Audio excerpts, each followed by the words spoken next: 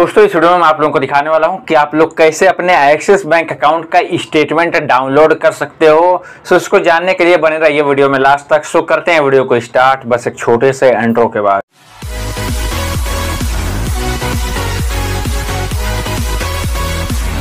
Guys मैं आप लोगों को दिखाता हूँ कि आप लोग कैसे अपने एक्सिस बैंक अकाउंट का स्टेटमेंट डाउनलोड कर सकते हो घर बैठे हुए। सो इसको करने के लिए आप लोगों को मोबाइल बैंकिंग की ज़रूरत पड़ेगी। तो यहाँ पर आप लोगों को एक्सिस मोबाइल एप्लीकेशन को ओपन कर लेंगे। इसी मोबाइल एप्लीकेशन से आप लोग अपना स्टेटमेंट डाउनलोड कर सकेंगे। अगर फ़र्स्ट टाइम आएँगे तो यहाँ पर आप लोगों को रजिस्ट्रेशन करना होगा। सो आप लोग आई बटन पर वीडियो पर क्लिक करके देख पाएँगे कि आप लोग कैसे इस एप्लीकेशन में रजिस्ट्रेशन करेंगे।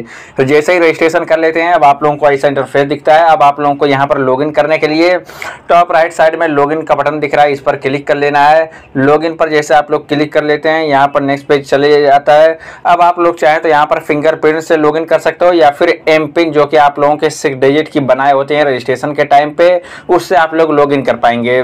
सो अब आप लोगों को यहाँ पर स्टेटमेंट डाउनलोड करने के लिए आपको यहाँ पर आपका स्टेटमेंट दिख रहा है, जो कि लास्ट थ्री ट्रांजेक्शन हैं, और यहाँ पर आप लोगों को रिसेंट ट्रांजेक्शन के सामने आप लोगों को व्यू ऑल करके दिख रहा है। आप लोगों को इस बटन पर क्लिक कर लेना है।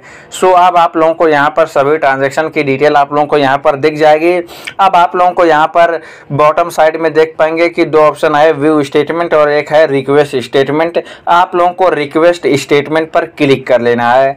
अब आप लोगों को यहाँ पर नेक्स्ट पेज पे आ जाते हैं। अब आप लोगों को यहाँ पर स्टेटमेंट का ड्यूरेशन सेट करना है कि आप लोगों का कितने टाइम के लिए स्टेटमेंट निकालना चाहते हैं। तो यहाँ पर हम लास्ट सिक्स मंथ सेलेक्ट कर लेते हैं।